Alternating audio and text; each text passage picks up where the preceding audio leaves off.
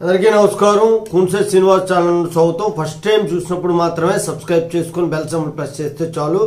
మన ముందు వీడియోలు తప్పకుండా చూడండి. ముందు వీడియోలు చూడకుండా కామెంట్ పెట్టొద్దు. మీరు కామెంటు లైక్ షేర్ ఏమీ అడగను. మీరు సబ్స్క్రైబ్ చేసినా చేయకపోయినా పర్వాలేదు. కానీ మీరు మాత్రం ముందు వీడియోలు చూసి మీరు సబ్జెక్ట్ తెలుసుకొని చాలు. నాకేం అవసరం లేదు. పూర్తి సబ్జెక్ట్ తెలుసుకుంటే మాకు అంతే చాలు. ఒక్క విషయం గుర్తుపెట్టుకోండి. కామెంట్లో నేను పూర్తిగా ఏ వివరణ ఇవ్వలేను. అదే వీడియోలో అయితే రెండు మూడు పేజీలు నేను ప్రిపేర్ అయ్యి శుభ్రంగా రాసుకొని చూసి మరీ మీకు చెప్తాను. నాకు డౌట్స్ వచ్చిన వెళ్ళి మళ్ళీ ఇలా చూస్తూ మీకు చెప్తా ఉంటాను. అందువల్ల మీకు కరెక్ట్ ఇన్ఫర్మేషన్ వస్తుంది. సుప్రీంకోర్టు హైకోర్టు జడ్జిమెంట్లు కూడా అక్కడ లింక్ పెడతాను. అవి మీకు మీ చా మీ కేసుకు ఉపయోగం అనమాట అది నా తాపత్రయం అంతా కూడా.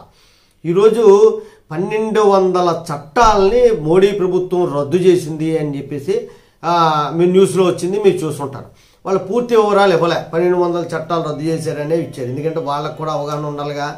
పూర్తి వివరాలు ఇవ్వాలంటే ప్రపంచంలో ఏ దేశానికైనా స్వాతంత్రం వస్తే ఉదాహరణకు బ్రిటిష్ వాళ్ళ నుండి స్వాతంత్రం వచ్చిందనుకో బ్రిటిష్ వాళ్ళ నుండి స్వాతంత్రం పొందిన వెంటనే ప్రపంచంలో అన్ని దేశాలు అక్కడ ఉన్న చట్టాలన్నీ రద్దు చేసి సొంతంగా ఆ దేశానికి అప్పటి కాలమాన పరిస్థితులకు అనుగుణంగా చట్టాలను రూపొందించుకున్నాయి రాజ్యాంగాన్ని అనేటువంటిది రూపించుకోవడం జరిగింది. ఎందుకంటే ఆ ముందున్నటువంటి ప్రభుత్వాలు వాళ్ళకి సరిపట్టుగా వాళ్ళు బ్రిటిష్ వాళ్ళు వాళ్ళకి కావలసిన విధంగానే చట్టాలు రూపొందించుకున్నారు. మన కోసం రూపొందించారు కాబట్టి ఆ చట్టాలన్నింటినీ పక్కదొట్టి మనం కొత్తగా చట్టాలు రాసుకోవడం రాజ్యాంగాన్ని రాసుకోవడం చేసాం మన దౌర్భాగ్యం ఏంటంటే భారతదేశంలో ఇప్పటికీ కూడా బ్రిటిష్ వాళ్ళు రాసిన రాజ్యాంగం బ్రిటిష్ వాళ్ళు రాసినటువంటి చట్టాలే అనుభవిస్తూ ఉన్నాం. అంటే రాజ్యాంగం వాళ్ళు రాశారంటారు ఏంటండి? అంటే దాని గురించి కూడా నేను నాలుగైదు వీడియోలు పెట్టాను చూడండి. పెద్ద మార్పులే ఉండవు అవి మనకి అయితే ఆ, చట్టాలని అనిపిస్తుంది. పద్దెనిమిది వందల ముప్పై ఐదులోని పద్దెనిమిది వందల అరవైలోని పద్దెనిమిది వందల నలభై ఐదు పద్దెనిమిది వందల ఎనభై ఐదులో రాసినటువంటి చట్టాలు రెండు వందల సంవత్సరాలు అయిపోయినా సరే మనం ఇంకా తలమై పెట్టుకుని వస్తూనే బతుకుతున్నాం. చట్టాలను విమర్శించడం కాదు. ఆ చట్టాలను రద్దు చేసి కొత్త చట్టాలని ఇప్పుడు కాలమాన పరిస్థితులు ఈ దేశ వ్యవహారాలు బట్టి చట్టాలు అనేవి తయారు చేసుకోవాలా? ఇది ప్రజల్లో మార్పు రావాలి ప్రభుత్వాలు అర్థం చేసుకొని ఆ చట్టాలను అనేటువంటి తీసిపారేయాలి. ఇప్పటికీ కూడా సైకిల్కి బెల్లలేదు సైకిల్కి లైట్ లేదంటే శిక్ష వేసేటువంటి చట్టాలు ఎందుకంటే ఎస్ఐ మాత్రం డ్యూటీకి వచ్చేటప్పుడు పళ్ళు తోముకొని రావాలి స్నానం చేసి రావాలంటే ఏంటి అది చట్టం అది? అలాంటి చట్టాలు ఎందుకు రద్దు చేయలేదు ఇప్పుడు వరకును? ఇలాంటి చట్టాలు ఉండడం వల్ల దేశ ప్రగతికే ముప్పుగా అవుతుంది డెబ్బై సంవత్సరాల పాలనలో ఇప్పటికీ కూడా మనం ఇంకా అలాంటి చట్టాలను మోసుకొని ఎలా తిరుగుతాం. మీకు కంప్యూటర్ కూడా చెప్పలేని చట్టాలు ఉన్నాయి కంప్యూటర్లో కూడా ఎన్ని చట్టాలు ఉన్నాయో భారతదేశం అంటే ఎవడో చెప్పలేనటువంటి అన్ని వేల చట్టాలు తయారు చేసుకున్నారు. అవన్నీ కూడా రద్దు చేయవలసి వచ్చింది. వాజ్పేయి గారి గవర్నమెంట్లో ఆరు వందల ఏడు వందల చట్టాలు అనేవి రద్దు చేయడం జరిగింది. తర్వాత వచ్చిన మన్మోహన్ గారు గారు సాహసం చేశారు కానీ ఆయన మాట చెల్లకపోవడం వల్ల ఆయన ఆ సాహసాన్ని చేయలేకపోయారు పాపం. ఎందుకంటే అప్పుడు పరిస్థితి మళ్ళీ పొలిటికల్గా అయిపోద్ది.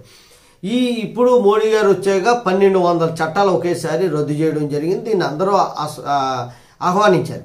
ఎస్ఐ పళ్ళుతో తోముకోవాలి స్నానం చేసి డ్యూటీకి రావాలి అంటే ఆ చట్టం అమల్లో ఉంటే విదేశాల్లో ఇప్పటికీ మనకి ఆ ఎస్ఐ స్థాయిడే చట్టం చేస్తేనే కానీ డ్యూటీకి పళ్ళుతోమి స్నానం చేసి ఆడేమో అంత అనాగరికులేమో భారతీయులు అనేటువంటి అనుకునే పరిస్థితి ఉంటుంది. పంతొమ్మిది పద్దెనిమిది వందల ముప్పై ఏడులోనో పద్దెనిమిది వందల ముప్పై ఐదులోనో చేసినటువంటి చట్టం పద్దెనిమిది వందలు నేను చెప్పేది.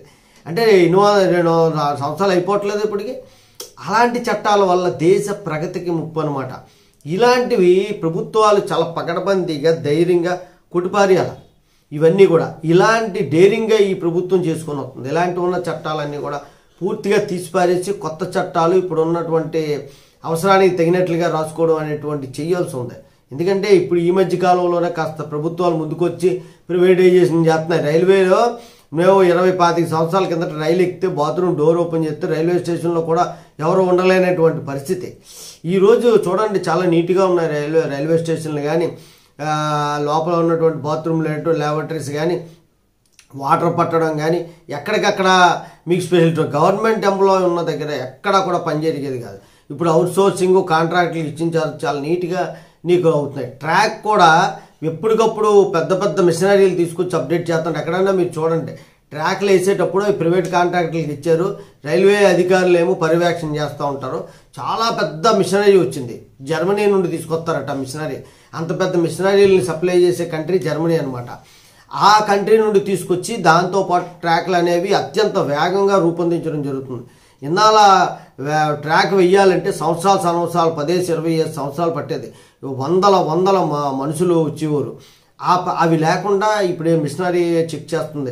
చాలా చాలా నీట్గా చెక్ చేసి ట్రాక్ నిర్మాణాలు చేస్తున్నారు. అలాంటివన్నీ కూడా ఇప్పుడు అలాగే అనేక అనేక దాంట్లో ప్రైవేటు స్కూల్స్ కానీ ప్రైవేట్ కాలేజీలు కానీ అవన్నీ ఇవన్నీ కూడా చాలా పోటీ పోట పోటాపోటీగా జరుగుతున్నాయి. చాలా బాగుంది పద్ధతి. ఇంకా ప్రభుత్వాలు ముందుకొచ్చి అనేక రకమైనటువంటి చట్ట సవరణలు చేయాలి మొన్న. వ్యవసాయ భూ వ్యవసాయ ఉత్పత్తుల మీద బ్రహ్మాండమైన చట్టాలు చేస్తే ఆ పంజాబ్లో పంజాబీస్ అందరూ కూడా ధర్నా చేసి ఆ చట్ట తీయించారు. అదేదో పొలిటికల్ చేసి కాంగ్రెస్ వాళ్ళందరూ కలిపి. కానీ ఇది వ్యవసాయ పంటలు అనేవి ఇండియాలో ఎక్కడైనా అమ్ముకొచ్చేటువంటి చట్టం కానీ అలాగే వ్యవసాయ భూములన్నీ కూడా పదివేల ఇరవై వేల ఎకరాలు సేకరించి ఒకే దగ్గర వ్యవసాయం చేసే పద్ధతి కానీ ఇవన్నీ కూడా చాలా మంచివి. దీన్ని చాలామంది నిపుణులు కూడా ఆహ్వా ఆహ్వానించి దాన్ని పూర్తి వివరణ కూడా ఇచ్చారు. జయప్రకాష్ నారాయణ లాంటి వారు అలాగే చాలామంది ఎకనమిస్టులు చాలామంది వ్యవసాయం చేసేటువంటి మంచి నిపుణులు కూడా చెప్పారు అగ్రికల్చరిస్టులు అనమాట వాళ్ళంతా కూడా. జర్మనీ అమెరి బ్రిటన్ ఇలాంటిలో వాటికి సైట్ చాలా తక్కువ కానీ బ్రహ్మాండమైన వ్యవసాయం చేస్తారు. ఇజ్రాయిల్లో చాలా చిన్న దేశం అది ఇసుక. అక్కడ ప్రపంచాన్ని ప్ర బ్రహ్మాండమైనటువంటి ఫ్రూట్స్ కూరగాయలు అనేవి ఫస్ట్ క్లాస్ పండిస్తున్నారు. అక్కడ జనాభా కూడా నలభై తొమ్మిది లక్షలు. మనతో పోల్చుకుంటే ఏమీ కాదు కానీ ప్రపంచాన్ని శాసించే స్థాయిలో ఉన్నారు. అక్కడ ఉన్న చట్టాలు కానీ అమలు చేసే నాయకులు కానీ చాలా వండర్ఫుల్గా ఉన్నారు. ఎందుకు చెప్తున్నానంటే మనం చెప్పిన దాన్ని కొద్ది డైవర్ట్ అయినప్పటికీ కూడా కొన్ని విషయాలు మనం చర్చ చేసుకోవాలి. చేస్తేనే మీకు నాకు కూడా ఇంటరాక్షన్ ఏర్పడుతుంది. మీకు కూడా ఒక పూర్తి అవగాహన ఏర్పడుతుంది. అందుకని నేను కొద్దిగా ఆ ఒక్క విషయమే కాకుండా చట్టాలు రద్దని కట్ చేసేయకుండా మళ్ళీ చిన్న డైవర్ట్ అయ్యి మీకు చెప్పవలసి వచ్చింది. జై హింద్. భరతమాతాకి జై.